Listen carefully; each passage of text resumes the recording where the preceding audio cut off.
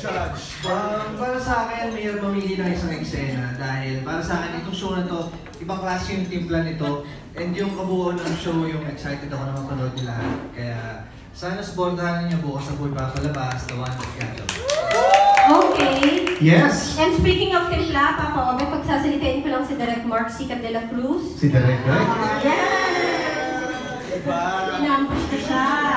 Dapat ma-flatter tayo kasi hindi siya madalas magsalita. Kita mo nag-blush. Invite mo na lang sila Mark. Um, thank you guys for coming. Uh, O bakit? um, abangan niyo yung The One That Got Away uh, starting tomorrow after na Kambal Kaliban.